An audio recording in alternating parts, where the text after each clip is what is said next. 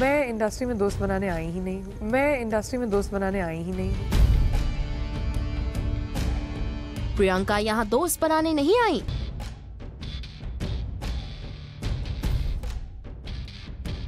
लेकिन दुश्मन बनाने भी नहीं आई। Kareena is a really nice girl लेकिन करीना ने प्रियंका के लिए कुछ ऐसा बोला जिसे सुनने के बाद प्रियंका के दिल में बदले की आग आज तक भड़क रही है। और ये आग सामने आ ही गई जब एक मैगजीन को इंटरव्यू देते हुए रिपोर्टर ने पूछा ये सवाल। Priyanka, any insult which you will never forget?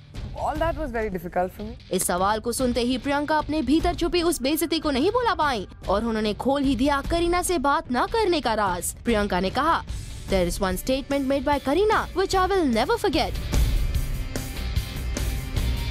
reporter के पूछने पर प्रियंका ने कहा कि एक बार जब करीना से पूछा गया कि वो बॉलीवुड में किसे अपना कंपटीशन मानती हैं, तो करीना ने रानी मुखर्जी का नाम लिया। लेकिन जब रिपोर्टर ने कहा कि आपको नहीं लगता कि प्रियंका जैसी कंटेम्प्रेरी से भी आपका कंपटीशन है तो करीना का जवाब था ओह I thought you were talking about actors बस यही बात प्रियंका के दिल को चुप गई। पहली बार मेरे साथ ऐसा हुआ I was very shocked and hurt by Priyanka ने कहा she does not consider us in league it really hurt me बस यही वो बात है जिसे प्रियंका कभी नहीं भूल सकती।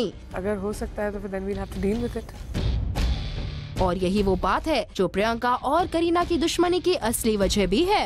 और अगर आप मुझे सवाल पूछेंगे तो आई से यस आई वाज